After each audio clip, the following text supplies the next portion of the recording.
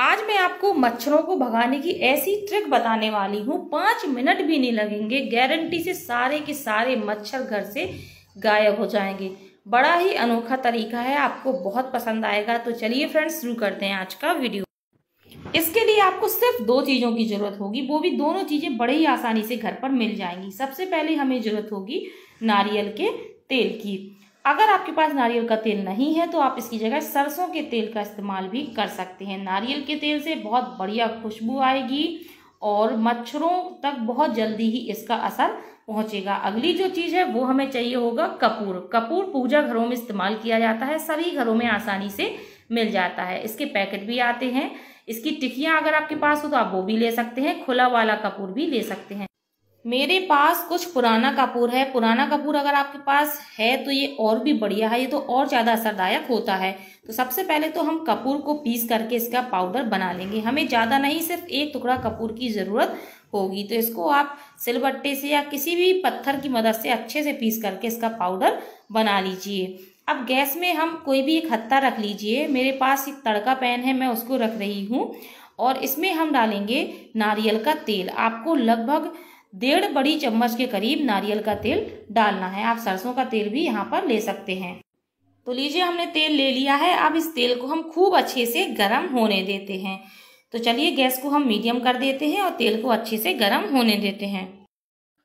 जैसे ही तेल गर्म हो जाए, इसमें हम डालेंगे कपूर का पाउडर। लेकिन आपको पूरा पाउडर इकट्ठे नहीं डालना है थोड़ा थोड़ा करके ही डालना है। ताकि ये तली पर बैठता जाए, ऊपर एकदम से ना आए। एकदम से आने में इससे आग लगने का डर भी रहता है। तो लीजिए हमने कपूर डाल दिया है, अब हम गैस को कर देंगे बंद। और आप देख सकते हैं कपूर में बहुत तेज़ी से धुआँ उठने लगा है। ये धुआँ लगातार पाँच से दस मिनट तक उठेगा, जब तक कि कपूर पूरी तरह से ख़त्म नहीं हो जाता। तो अब आपको क्या करना है, एक प्लेट लेनी है और इसके ऊपर आपको ढक देना है, ताकि इसका धुआँ ना उड़ पाए और यहीं के यहीं तेल में बैठ जाए।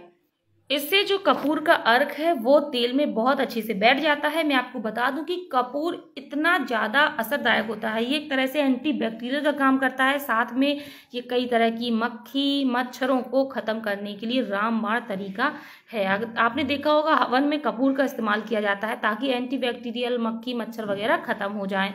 अब आपको इस तेल को ठंडा होने देना है। इसके बाद आपके पास दो तरीके हैं इसको इस्तेमाल करने के लिए।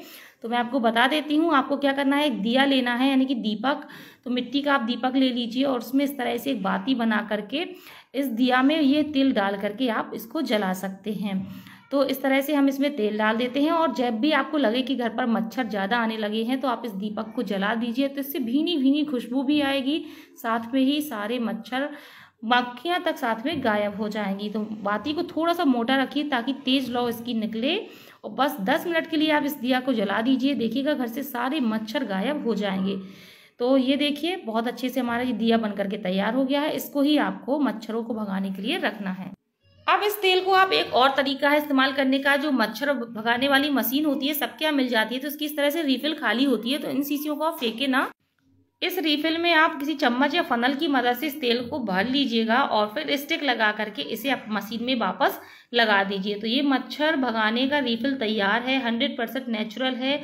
किसी केमिकल का इस्तेमाल नहीं है कि, क्योंकि जो नॉर्मली मशीन में लिक्विड आता है, काफ़ी हार्ड होता है इससे नशा आने लगता है, बच्चों के लिए नुकसानदायक है और इसमें ऐसा कुछ नहीं होगा भीनी भीनी खुशबू आएगी, वातावरण शुद्ध होगा, मच्छर भागेंगे, बहुत बढ़िया ये तेल है, आप इसको ज़रूर बना करके देखें इन दोनों में से कोई भी उपाय करके देखिए, हंड्रेड परसेंट वर्किंग है, बहुत अच्छा तरीका है, आप भी इसको ज़रूर ट्राई करके देखिएगा, एक बार बना लेंगे तो इसको बार बार बनाएँगे, हर बार आप यही चीज़ बना करके रखेंगे घर पर तो लीजिए, मैंने इसको स्विच में लगा दिया है, उसको ऑन कर देते हैं। बस लगा रहने दीजिए हल्की हल्की धुआँ सा निकलेगा, पूरे कमरे में फैल जाएगा मच्छर गायब हो जाएँगे, कमरा खुशबू से भर जाएगा। फ्रेंड्स, वीडियो पसंद आया तो वीडियो को लाइक